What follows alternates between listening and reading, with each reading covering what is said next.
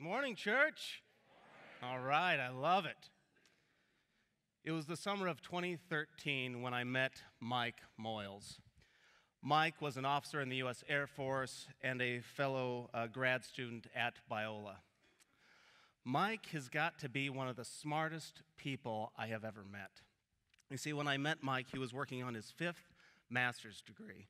And by the time we were graduating Biola, he was working on his sixth master's degree, and I'm sure by now he's on his 10th. But I hope someday he'll stop with the master's and just go on for that PhD. But only time will tell. But as I was saying, he really is one of the smartest people I know. But apart from that intelligence, there was something else that stood out to, be, to me about Mike. Now, for those of you who know me outside of the context of preaching or outside of ministry, you'll know that I'm a very outgoing person.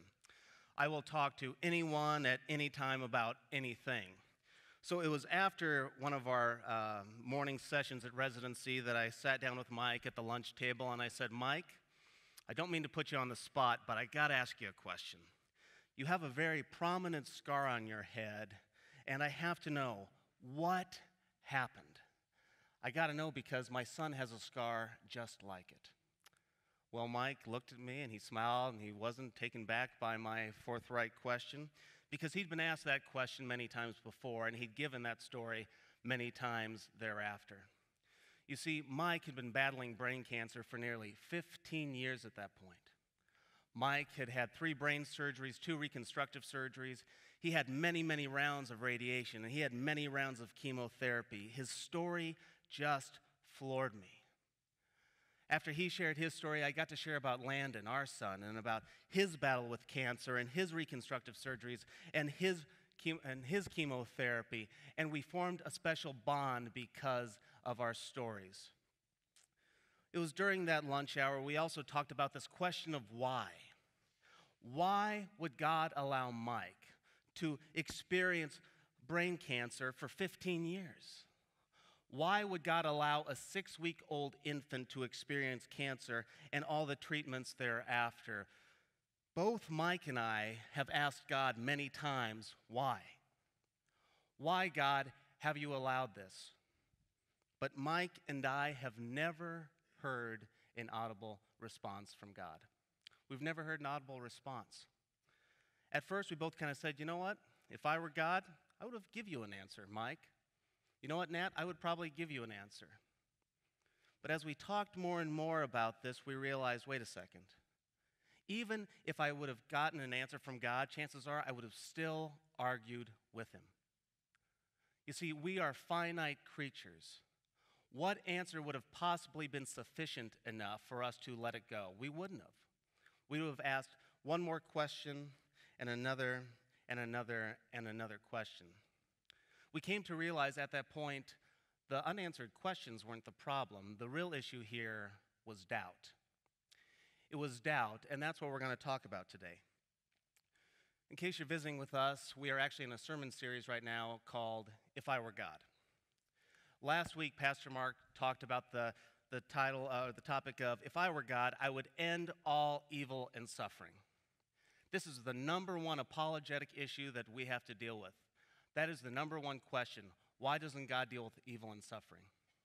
But Mark rightfully concluded that God has done something about evil and suffering. 2,000 years ago, he dealt with evil and suffering on a cross on Calvary. He made a down payment for evil and suffering. And at the end of time, God will deal with it wholly and it will be done. Until then, we need to rely on God as our source of hope and strength. This week, we want to talk about the topic of if I were God, I would answer every question. But as I said earlier, the issue here really isn't with the unanswered question. The real issue here is with doubt. Because when we ask a question, what are we doing? We are trying to solve a problem. We're trying to either dismiss something as untrue, or we're trying to solidify something so that it is rock solid and it cannot be shaken. You see, questions are natural. They're to be expected from finite creatures who are trying to learn and trying to grow. I tell you, God is not offended by our questions. Pick up the Bible and read it, and you will see that there are countless biblical characters who ask God questions, and He's not turned off. Doubt.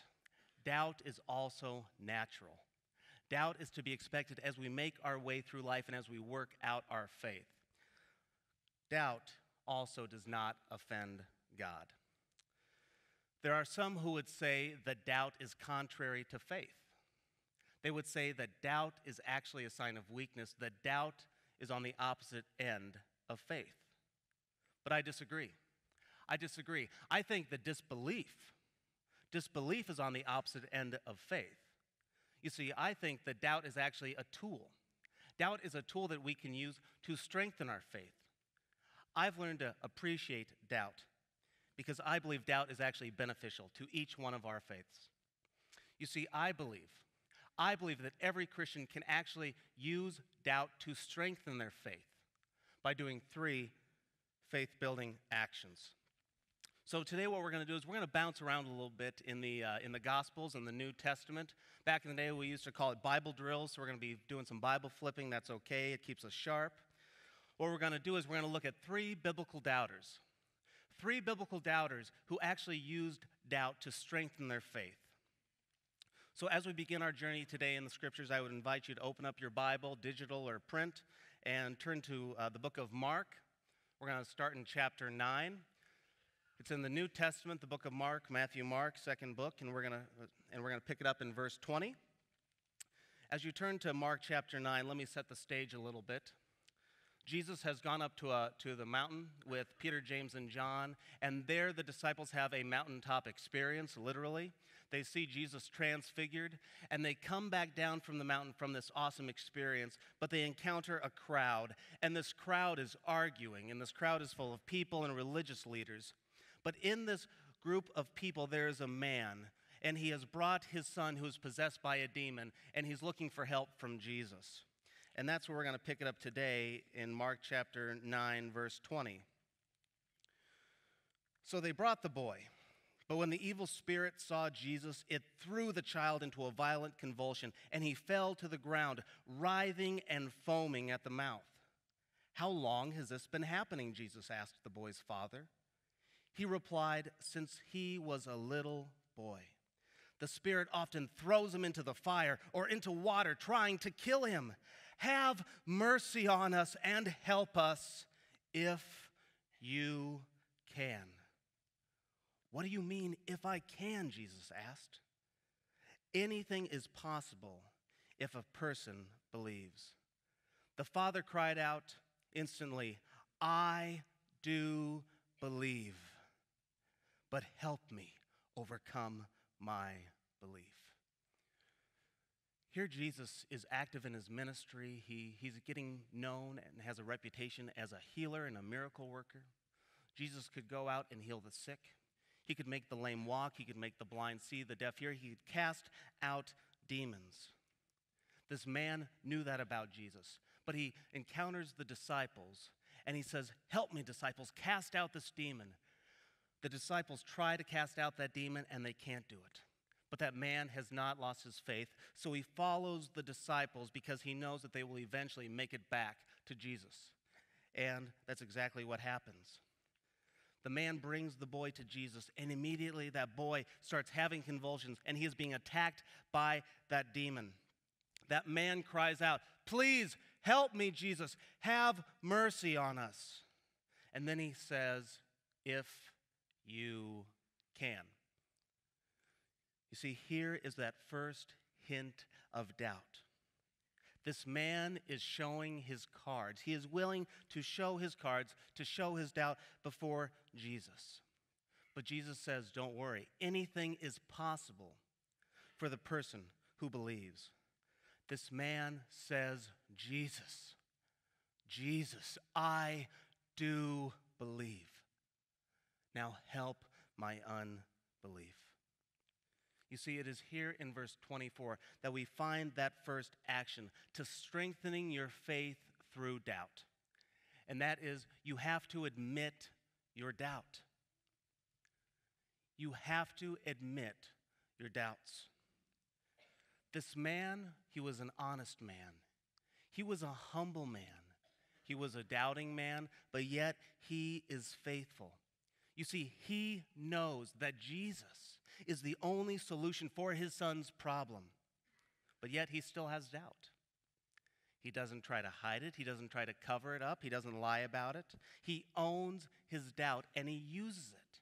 He uses it to strengthen his faith. And what's the result? His son is healed. When I was in leadership development, I would often sit down with a client, a prospective client, and we'd start talking about their leadership, about maybe their leadership team, about their culture, and I would ask self awareness questions, trying to gauge what's going on in the organization and for them as a leader. It was not uncommon to have people basically give me delusions of grandeur. They would tell me things that would sound good, that would make them sound really good as a leader. But it was at that point I'd have to stop them and say, Whoa, whoa, whoa, whoa. Did you bring me here to give you a pat on the back? If that's the case, then let's just call it here and I'll go home. But if you want to really improve your leadership and want to improve your organization and your team, then you have to start admitting what is really going on here. Because here's the reality you cannot improve what you don't manage, and you cannot manage what you don't know and what you frankly admit. So you have to start owning that doubt and start admitting it. So to strengthen your faith through doubt, you have to admit it, admit it and own it. Some people think, but if I don't say it, then God won't know it. Well, if that's the case, boo, that's gone. God knows everything. He knows what you're thinking right now, how boring I am. He knows it, okay? He's aware. You can't fool God. The reality is, you also can't fool us. We know you have doubt. Why? Because we all have doubts from time to time. We're human. Now, if you're thinking to yourself, but Nat, I've never struggled with doubt, well, then either A, you have a blind faith, or B, you're lying to yourself. And I will tell you, neither of those are good options. So start now by admitting your doubt. Admit your doubt and own it. And when you do that, you can start strengthening your faith. The second action we're going to discover as we turn to the book of Matthew. So if you would like to turn to the book of Matthew, chapter 11, here we're going to encounter a man's man, a rugged man who wore camel hair, who ate locusts and honey, and I have no doubt had a most righteous beard. Of course, you know, we're talking about John the Baptist, the man's man. We're going to pick it up in Matthew chapter 11, verse 1. and it says, When Jesus had finished giving these instructions to his 12 disciples, he went out to teach and preach in towns throughout the region. John the Baptist, who was in prison, heard about all the things the Messiah was doing. So he sent his disciples to ask Jesus, Are you the Messiah we've been expecting? Or should we keep looking for someone else? For those of you who know the background of John the Baptist and Jesus, they were family. John the Baptist knew Jesus really well. They were cousins. Both of them, both of their births were uh, around miraculous circumstances. John knew Jesus. Back in John chapter 1, you encounter John the Baptist, and he is preparing the way for this upcoming Messiah. He's baptizing people in the Jordan River, and then Jesus shows up on the scene, and what does John the Baptist say? He says, Behold the Lamb of God who takes away the sins of the world. So, John the Baptist, he sees Jesus and he says, Here is that Messiah. I know it, I don't doubt it. John takes Jesus and he baptizes him in the river, and he comes out, and then we see the Spirit of God descending on Jesus like a dove. And what does John the Baptist say? He gives a blatant testimony. He says, I myself have seen and testify that this is the Son of God. John saw Jesus. He said, This man is the Messiah, the one we've been waiting for. And then he says, He is the Son of God. There is no doubt in my mind and no doubt in Scripture that John the Baptist knew and believed that this Jesus was the Messiah, the Son of God, that he was God in the flesh. Yet here we find him later, and he is in prison and he's experiencing some doubt. Guess what? If I had prepared the way for a Messiah and I ended up in prison, I might be wondering the same thing too. I can get that. So he's doubting and he sends his disciples to go and ask Jesus the question Jesus, are you really the Messiah? Are you the real deal, or should we start looking for somebody else? Is there someone else we need to be looking for? You see, it is in this exchange that we find that second action for strengthening your faith through doubt. You have to ask questions. You have to ask questions. Now, I'm sure Jesus could have rebuked John for his doubt. He could have shamed him, he could have dismissed John, but he doesn't. What does he do? Instead, he points back to the evidence. Look at verse 5. Jesus says, Remember, the blind see, the lame walk, those with leprosy are cured, the deaf hear, the dead are raised to life, and the good news is being preached to the poor. Jesus provides no fancy answer. He provides no sarcasm. He simply provides the proof. And the proof is in the pudding, and that pudding is legit. And the, and the disciples know it. So the disciples, they have the information they need. They believe they've got the information to, to affirm and to help John strengthen his faith. But then look what Jesus does in verse 11. Again, he could have put him down, he could have doubted John the Baptist, but what does he do? Jesus affirms John. In verse 11, he says, I tell you the truth. Of all who have ever lived, none is greater than John the Baptist. You see, even inside the, inside the doubt that he was experiencing, John was still the greatest. You see, we can ask God questions, sincere questions, struggle with our doubt, and we can still be affirmed and be used by God. John's doubt here was not the beginning of disbelief but it was the strengthening and the affirmation of his faith because he asked questions. Often I'm asked about my particular journey into apologetics, and if you've attended one of my classes, I'm sure you've heard the story before, but it usually goes something like this. One day I heard a gentleman on the radio by the name of Ravi Zacharias, and his ministry and his books changed my life, and it led me to a pursuit of a master's degree in apologetics and that changed my life. Now, that's the true story. That is the true story. But that's not actually where the story started. You see, the story started with, fa- with, with doubt and asking questions. I was raised in a Christian household. I was raised in a Christian school. I was raised in a church, this church. I didn't really struggle with doubt until I finally got out of high school.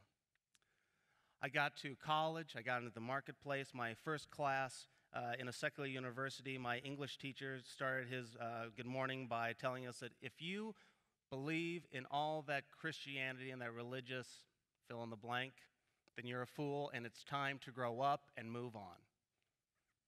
English class. I'm not sure how the two connected, but I'm sure somewhere it was in there. But that was the reality. That was the environment I was walking into and I started asking questions and having doubts. I started wondering things like, I wonder what if would have happened if I would have been born in Japan. Would I be a Buddhist right now? I wonder why I struggle with sin so much, yet I'm a Christian. I have the Holy Spirit in me, yet I can sin with the best of them. What's up with that, God? I could turn on the news or read the paper and see so many atrocities and say, there is so much evil and suffering in the world. But I believe that God, you are sovereign and you control everything. So, what on earth is going on? You see, these were real questions, honest questions, good questions, and I sought real answers. I was really blessed, though, because I had an environment that I could ask the questions, I could have doubt, and I would not experience criticism. Not everybody has that. I've talked to many Christians who have been shamed and put down and told to shut up and put their doubts aside and stop asking so many questions. I'm sorry if that's you. That's horrible. I didn't experience that. I had an environment that I could struggle freely. I had pastors who would come alongside me and help me answer the hardest questions, the candid questions, and they helped me seek answers with truth and love. I was very blessed. You see, I admitted my doubt and I asked questions, and I was willing to let them lead me to truth wherever truth led. And do you know what? It led me to here. It led me to Christianity, to the truth. I believe you never need to be afraid of the truth. During that pursuit of truth and understanding, it led me to Biola, and I worked on this apologetics degree, and I studied systematic theology and world religions and the hardest apologetic topics. And let me be perfectly honest with you I asked more questions than I ever have before, and I struggled more than ever with doubt. But as I said earlier, my pursuit of truth led me to a faith that cannot be possibly shaken, and it led me to Christ. We as a church, we want that for you. We want you to be able to use your doubt to strengthen your faith. If you have questions, if you have doubt, if you have struggles, our doors are always open to you. Whether you're here in this auditorium or you're out in the digital world, our doors are open to you. Skeptics and doubters are welcome here at First Free, always. So the first action is that we admit the doubt. The section, second action is that we ask questions. And the third, we are going to encounter as we refresh ourselves with probably the most famous doubter in all the Bible. Of course, you know I'm talking about Doubting Thomas. His name carries the weight. We're going to find his story in the book of John. So if you would flip over to John chapter 20, and we're going to pick it up in verse 24. Again, to set the stage a little bit, Jesus had recently risen from the dead and he has started appearing. He appeared to Mary Magdalene and he has appeared to the disciples minus Thomas, and that's where we pick it up in verse 24. But Thomas, one of the twelve, called Didymus, was not with them when Jesus came. So the other disciples were saying to him, We have seen the Lord. But he said to them, unless I see in his hands the imprint of his nails, and put my finger into the place of the nails, and put my hands into his side, I will not believe. It's funny, many of us uh, fault Thomas for his doubt. I mean, he, he got the name Doubting Thomas. It's not a positive term. But we forget something about Thomas. Jesus was going to go back to Judea months before. And what happens? Their, their people are there and they want to kill Jesus. And the disciples say, That's a bad idea, Jesus. You're wanted there. Don't do it. But who steps up? Thomas. Thomas steps up and he says, I'll go and let us die with him. You see, Thomas had a rock solid faith, but he experienced doubt. I don't think he should be called Doubting Thomas. But even so, here we are. Jesus had predicted his resurrection. The disciples are saying, Look, we've seen him. We've seen him. He has risen. But Thomas says, I ain't buying it. Unless I can see him with my own two eyes, and unless I can touch him with my hands, I'm not buying it. But I think if we're all honest with each other, we would say the same thing too. Jesus is a miracle worker. He had seen him work, he could heal the sick, he could give peace, he could cast out demons, he could even bring the dead to life. But if you know anything about crucifixion, you know that is something you are not getting up from. Here he is saying, though, they're saying he has risen from the grave, from, from a death, from flogging and beating and being hung on a cross. If I were Thomas, I would want the exact same proof too. It is here we find that last action to strengthening our faith through doubt and that is you seek proof. You seek proof. You look for the evidence. This is exactly what Thomas had desired, and he would get it eight days later. Eight days later, Jesus comes back to the disciples and to Thomas. But notice, does Jesus begin by saying, Well, where is that doubter Thomas? Where's that guy who doesn't believe I rose from the dead? No, he doesn't do that at all. Does he dismiss Thomas for wanting evidence? Not at all. What does he say? Look at verse 27. Then he said to Thomas, Reach here with your finger and see my hands, and reach here your hand and put it into my side. And do not be unbelieving, but believing. Thomas's doubt led not to disbelief, but the affirmation, the strengthening of his faith by seeking proof. And what was Thomas's response? I love it. Look at verse 28. Thomas answered and said to him, My Lord and my God. Wow. His pursuit of proof resulted him calling Jesus Lord and God. This should be our response too as we seek Jesus. As we seek proof and evidence, we should shout out to Jesus, Thank you, Lord and God. Now, I'm aware there are some of you today who may not have ever called out to Jesus as Lord and God. In other words, you have not ever put your faith and trust in Jesus Christ. If this is true for you, I want you to know that you do not have to wait. You can respond to Him now, today, at any time. But what do you have to do? You have to change your thinking. You have to stop thinking that you can be good enough for God. You need to stop thinking that you can do enough to earn God's favor. It can't be done. The Bible tells us that for all have sinned and fallen short of the glory of God. In other words, we are all sinners. We are all people who make mistakes. We need help. There's nothing we can do to buy off God. We cannot earn that forgiveness and salvation. What's the solution? Well, Jesus told us the solution. He said, I am the way, the truth, and the life. Nobody comes to the Father but through me. So all you have to do is believe that Jesus Christ was God in the flesh, that he came to pay for your sin and for mine. Believe that he died, that he was buried, and that he rose again. And if you believe that, friends, you can experience that forgiveness. Your life will be changed, like so many of our lives have been changed. Amen?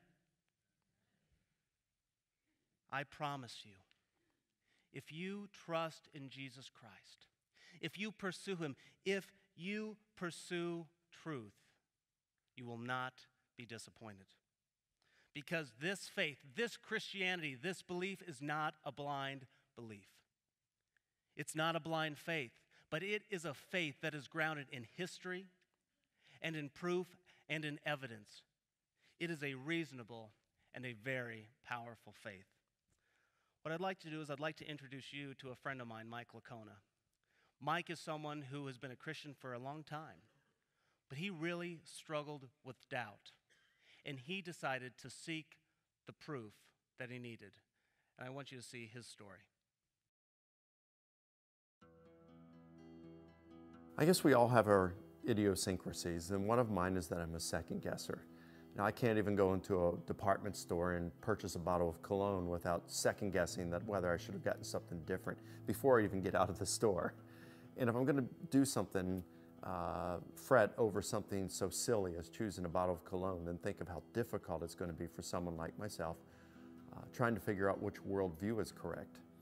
Um, and so over the years, I've doubted my faith uh, several times. And I'm not talking about little doubts, I, I'm talking about serious faith crises. It's possible that I may only have one chance to get this right. And so that's why it made, um, it was so valuable for me, so important for me to learn where the evidence pointed. I, I wanted to get it right. It's like I was double-minded in a sense. You know, I believed it was true and I was doubting it at the same time. Kind of like Peter when he's walking on water and he's doubting and beginning to sink, he's thinking two things. He's got the faith to get out there on the water, but then he starts to look around at the waves and say, but this can't be, and he sinks. So he's thinking two things. In fact, the Greek word distazo indicates that. So I was doing the same thing.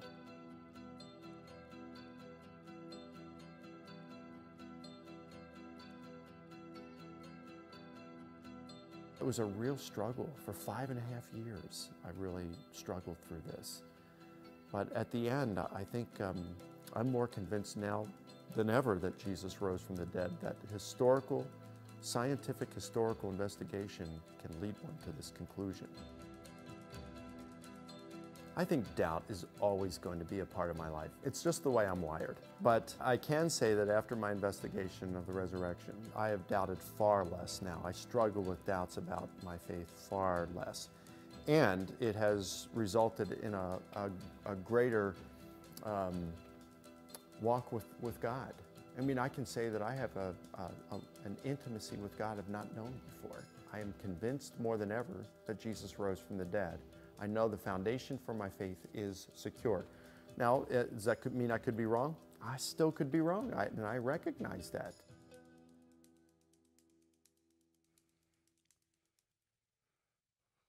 Mike is, a, like I said, a friend of mine, and he still struggles with doubt, but he is more convinced than ever. But I think the point still stands that we can use our doubt to strengthen our faith because we're all going to face it. We're going to face doubt for different reasons at different times. But I really do believe we don't need to be afraid of our doubt. And we can strengthen it, right?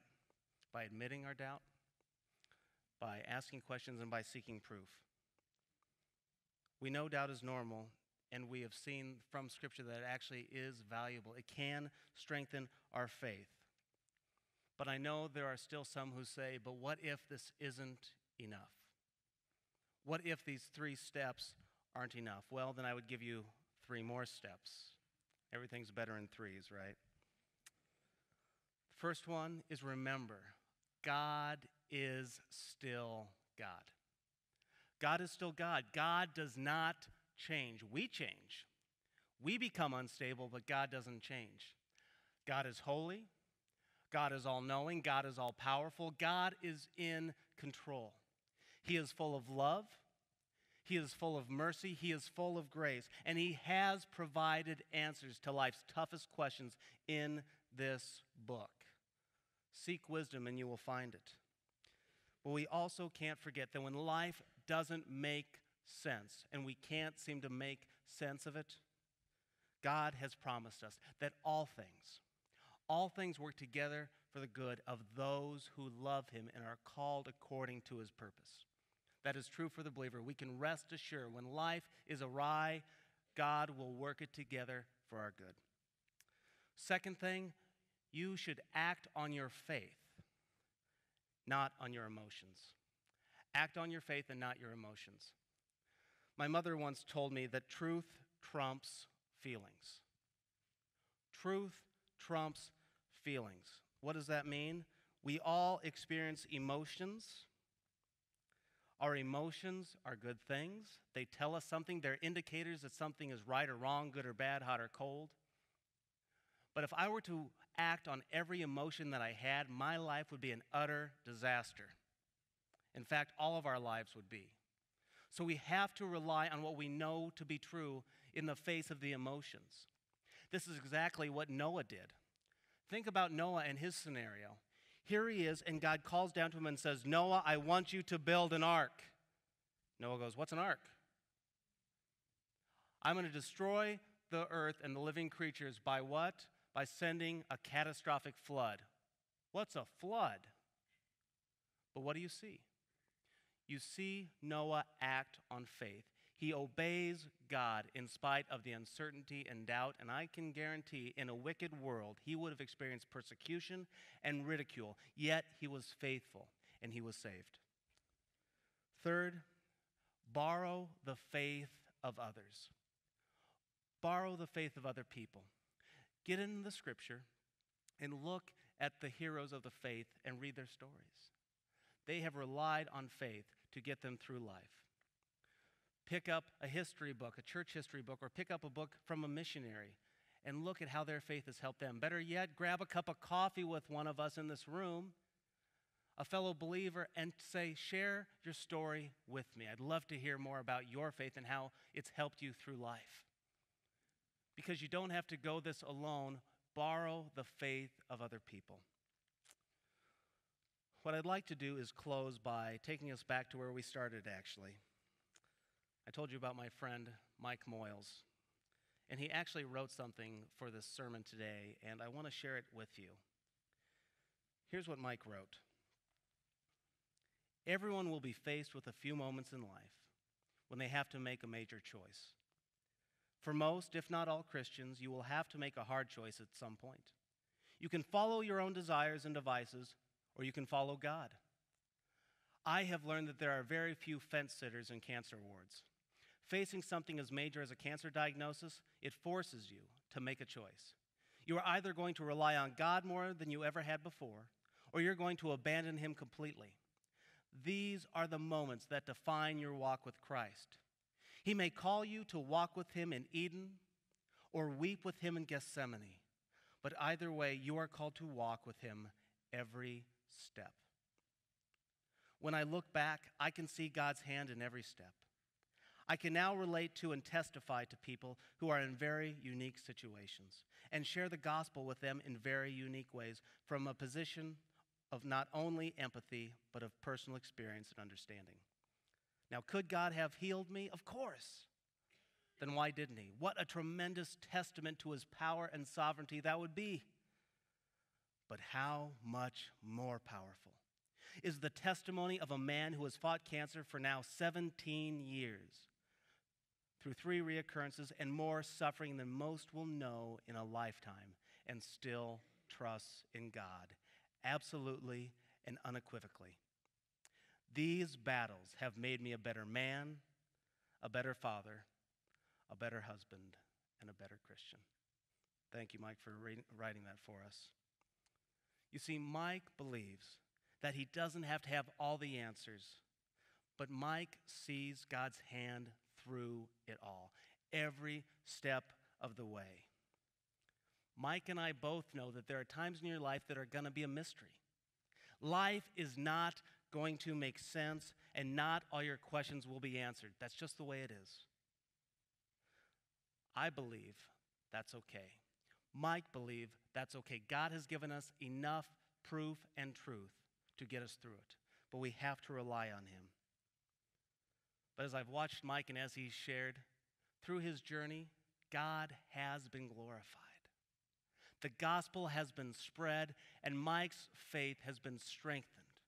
It has been strengthened through the doubt and in the face of mystery. If you are a Christian, God promises that His grace is sufficient for you. Amen? God promises to never leave you nor forsake you. Amen? God loves you. Amen?